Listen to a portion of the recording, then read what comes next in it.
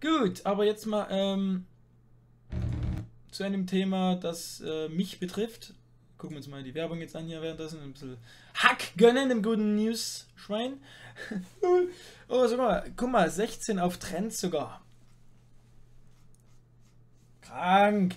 So, ähm, ich poste erstmal den Link in den Chat, da könnt ihr gerne mal äh, dann später das, äh, die Kommentare mit verfolgen und dort mal ein bisschen vielleicht mitreden. Sehr interessant, was für Kommentare hier zum Beispiel abgelassen wurden. Ähm, ich will da über das Thema jetzt mal ein bisschen länger sprechen, doch mal die ganze Geschichte mit dem Pfefferspray, was da passiert ist, nochmal erzählen. Ich habe nämlich kein Interesse dafür, ein eigenes äh, komplettes Video zu machen. Das ist einfach nicht so mein Stil. So. Ähm, das Video heißt Max Adlerson mit Pfefferspray angegriffen, Dokumentarfilm Lord of the Toys. Anscheinend äh, war es Herr Newstime jetzt hier wichtig, äh, zu der Pfefferspray News direkt noch das mit dem Lord of the Toys Film zu, zu fügen, obwohl ähm, ich da den inhaltlichen Teil dieses Videos für sehr mangelhaft äh, achten muss, äh, werde ich euch gleich nochmal erzählen, wenn ich jetzt hier drauf reacte. Ähm, gut, dann gucken wir uns das mal an.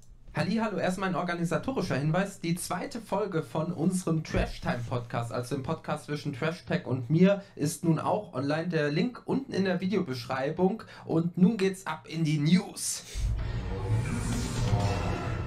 So, mein Mann, der YouTuber Max Adlerson, welcher zuletzt durch den Dokumentarfilm Lord of the Toys für einen Aufschrei in der Kulturszene sorgte, stand heute vor Gericht, aber nicht als Angeklagter, sondern als Geschädigter. Im Sommer 2017 wurde der YouTuber Max Herzberg Opfer eines Pfefferspray-Angriffs. Also er soll mit Kollegen aus der Neustadt gekommen sein und bei der St. Petersburger Haltestelle mit der Bahn dann gehalten haben und diese Bahn auch verlassen haben. Und dazu hat dann Max Adlersson auch noch Folgendes gesagt, Zitat. Zwei dunkel bekleidete Typen stiegen mit aus, kamen mir nach, ich dachte nichts dabei, einer pfiff, ich drehte mich um und hatte sofort eine Ladung Pfefferspray im Gesicht. Seine Vermutung hierzu, Zitat, ich bin eine Person des öffentlichen Lebens, bei den Linken werde ich als Rechter eingestuft, weil ich mich nicht klar genug distanziere. Der Angreifer war ein gewisser Tom L. Dieser stand nun auch vor Gericht. Er ist 31 Jahre alt. Nun war also das Verfahren gegen Tom L. Die Staatsanwaltschaft hat eine Gefängnisstrafe gefordert.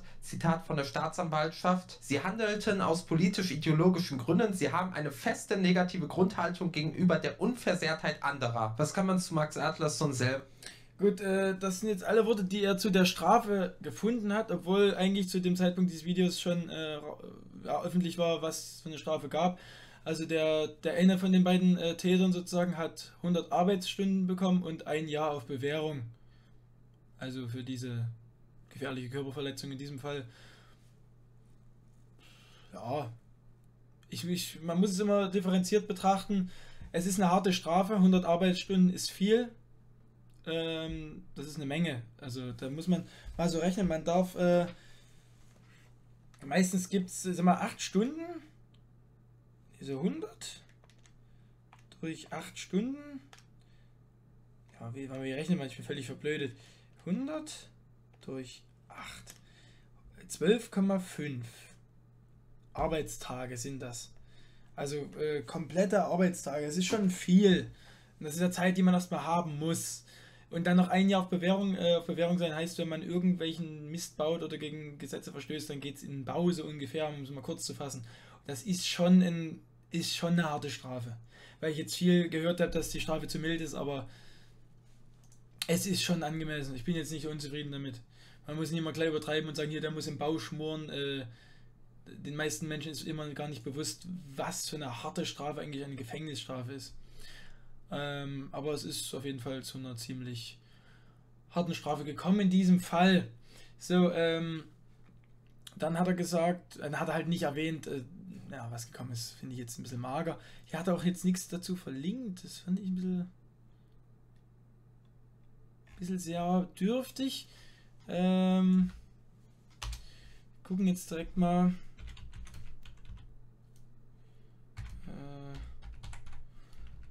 Wegen den Artikeln. Ich war in der, genau hier, das ist der eine, bei Tag 24 bzw. Morgenpost. Ich habe es hier schon an meiner Wand hinten hängen. In der äh, Morgenpost-Ausgabe steht das übrigens noch mit 2400 Abonnenten. Da steht drin, dass ich 2400 Abonnenten habe. Das finde ich auch sehr amüsant. Und dann gibt es noch hier äh, von der sächsischen Zeitung, also sächsische.de, Pfefferspray-Angriff auf YouTuber. Das Bild, Alter, wo ich hier ohne Schuhe im Treppenhaus stehe. Was soll denn das? Ja, diesen beiden Artikeln werde ich mich gleich widmen. Ähm,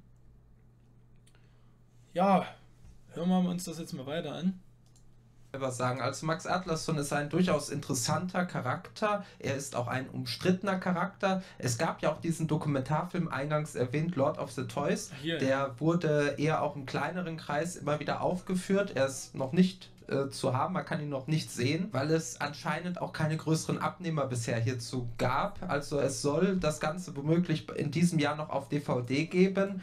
Ähm, die große Frage.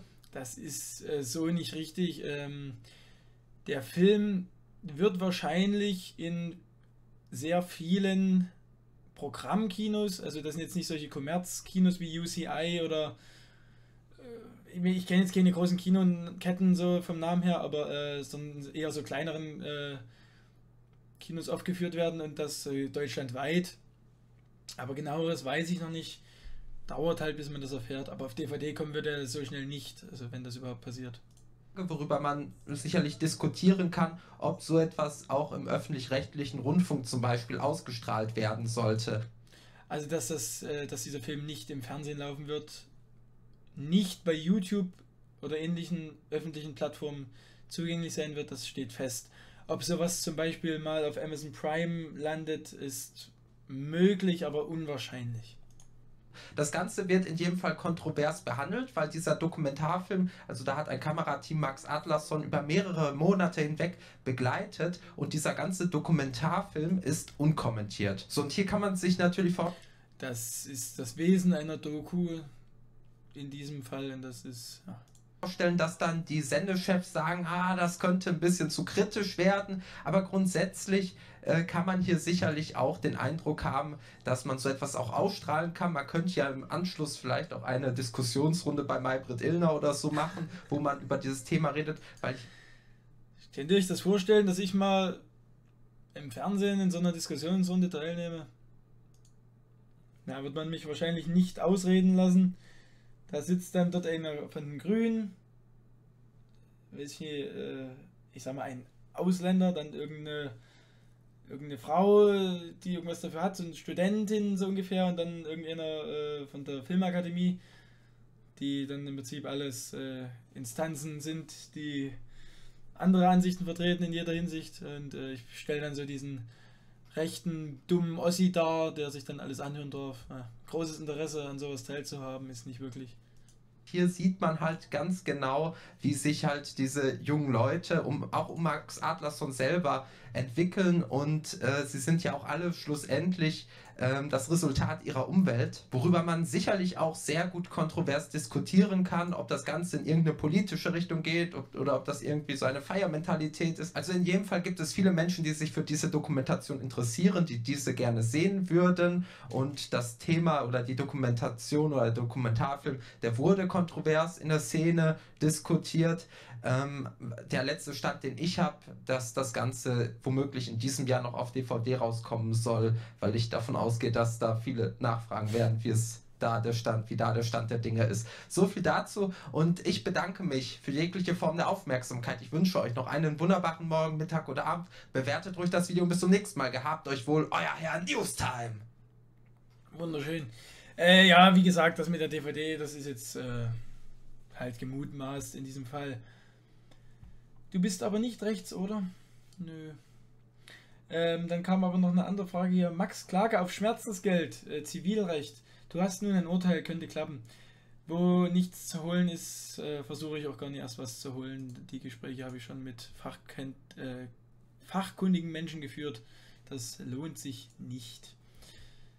Die Anwaltskosten wären unterm Strich höher als das, was man demjenigen dann nehmen könnte. In diesem Fall so. Okay. Aber bitte jetzt nie den äh, Herrn Newstime haten. Äh, ist halt nur nicht gerade unbedingt gut, äh, so, ich sag mal, mager und dürftig recherchiert, so ein Video hochzuladen, was dann am Ende doch so viele Menschen erreicht. Da waren halt doch schon inhaltlich sehr viele Fehler drin, aber naja, gut. Äh, das ist mir buggy. Jo, Matze, danke für die 5 Euro. Grüße gehen raus.